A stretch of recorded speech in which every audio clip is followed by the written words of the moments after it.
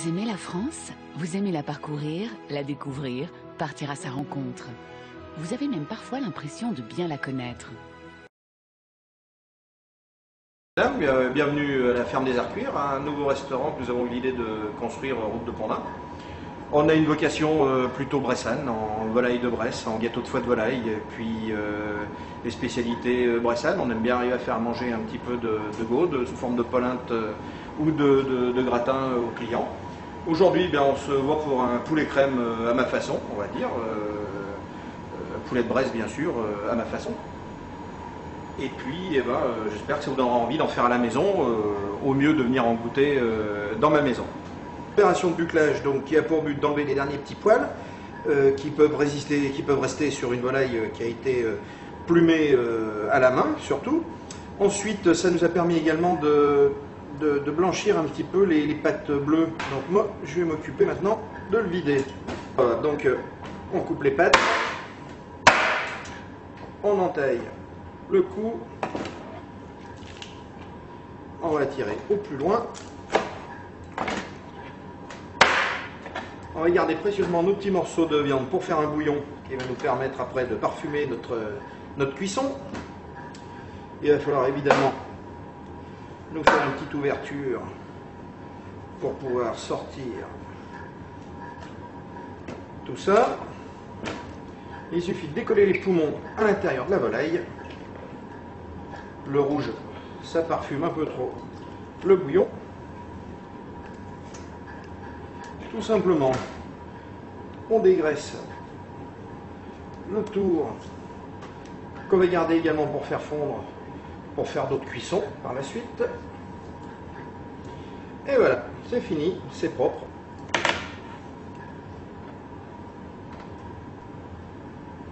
Voilà, donc maintenant il va nous suffire de le couper en quatre, puisque ce sont des poulets 4 quarts, on peut le couper en quatre.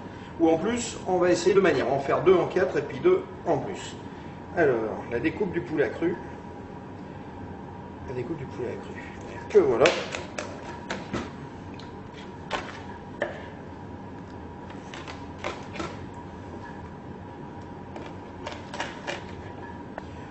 Un petit peu les salissures qui ont pu rester, qui ont pu rester à l'intérieur. séparer l'aile de la cuisse. Donc si on veut que nos invités aient chacun un petit peu de blanc, un petit peu de cuisse, il suffit de séparer deux morceaux en quatre. Une petite entaille ici pour éviter que la cuisse se redresse.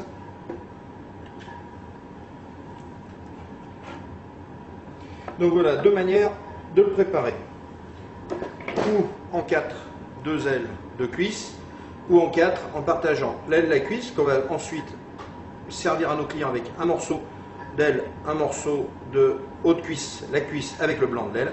Et donc maintenant, ben, on va s'occuper de la cuisson. Donc tout d'abord, le raidir au beurre. Donc on va prendre 100 g de beurre, on va mettre dans une cocotte. Et voilà. Lorsque le beurre est fondu, il va nous suffire de mettre nos morceaux de volaille côté peau dans la casserole. C'est bon. Maintenant que nos morceaux sont presque blondis du côté peau, on va rajouter la valeur d'un gros oignon coupé en morceaux. Et puis on va les retourner après. Voilà, un gros oignon pour 4 personnes il faut Donc va voir si elles sont effectivement bien colorées.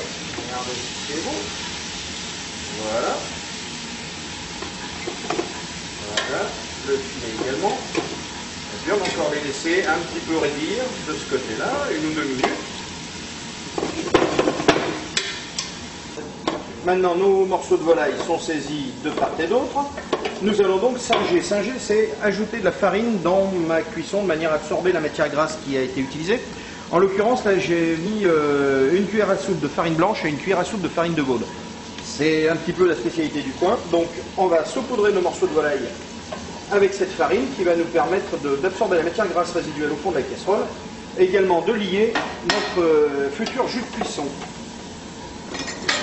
Donc maintenant que la farine a été absorbée par la matière grasse, on va mouiller notre volaille avec... Euh, là j'ai prévu 2 litres de bouillon, on va voir un peu ce qui va rester, mais on ne doit pas en être loin. Donc c'est bien 2 litres de bouillon, je confirme. Dans ce bouillon, on va rajouter 3 feuilles de laurier, 2 gousses d'ail et 4 clous de girofle. Donc il nous suffira, il nous suffira de, de laisser cuire maintenant un quart d'heure pour les ailes, 20 minutes pour les cuisses. Pendant ce temps-là, on va préparer notre deuxième étape, donc la sauce, la base de la sauce proprement dite.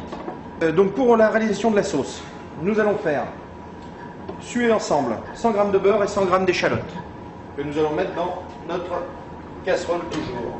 Le beurre va avoir besoin de fondre. J'ai ma cuillère en bois.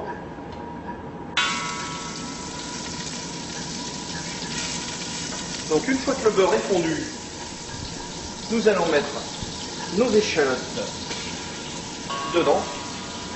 Et là, on va simplement les faire suer, c'est-à-dire qu'elles vont chauffer sans coloration. Simplement, ça va les, cuire, elles vont toutes euh, frisoter, leur enlever un, petit peu de leur humidité, mais sans griller. C'est assez important que ce ne soit pas grillé, parce que ça a tendance à donner un peu d'amertume. Euh, maintenant que nos échalotes sont suées, il nous suffit de rajouter notre litre et demi de crème. Qui va cuire? Les 5 minutes restantes à nos cuisses de, à nos cuisses de, de, poulet. Donc là maintenant, nous avons mis la crème dedans, on peut remonter le feu pour porter la crème à ébullition. Donc cette crème salée, poivrée, maintenant, il n'y a pas de souci puisqu'elle attend plus qu'à il ne reste plus qu'à recevoir nos, morceaux de volaille. Et puis nous allons euh, rallonger notre crème si nécessaire avec le bouillon de cuisson, une partie du bouillon de cuisson de la volaille. Nos cuisses de poulet qui elles ont cuit 5 minutes de plus que les ailes. Alors il ne faut pas que vous étonniez si les cuisses sont encore fermes, puisque je vous rappelle qu'elles vont finir de cuire dans la crème. Donc un litre et demi de crème, vous voyez que nos filets de volaille baignent parfaitement dans la crème, sauf que comme en cours de cuisson, ça va réduire, nous allons rajouter 2-3 bonnes louches de notre bouillon de cuisson. Passer évidemment à la passoire pour éviter de garder des morceaux d'oignon ou de laurier. Donc maintenant, il ne nous reste plus qu'à le laisser mijoter sur le coin du fourneau au ralenti pendant une, une vingtaine de minutes. Alors, à tout à l'heure.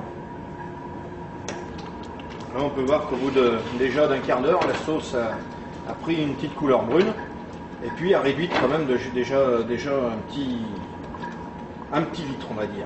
Donc il nous manque euh, encore un petit peu de liaison, on va dire euh, un, petit quart d'heure et puis ça va être, euh, je pense, à point. Donc voilà maintenant pour les plus gourmands qui se reconnaîtront sûrement notre aile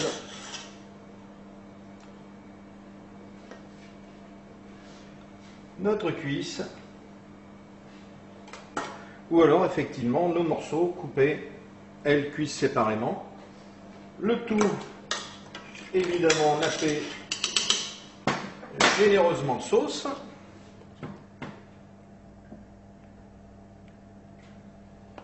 Vous voyez quelle est la parfaite consistance.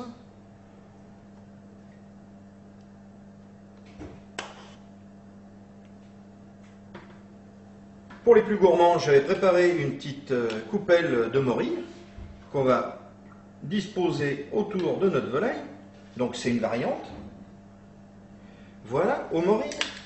Donc une autre variante aussi qui n'est pas désagréable du tout, c'est évidemment avec une petite goutte de vin jaune qu'on va prendre plaisir à mettre sur notre volaille avant l'envoi.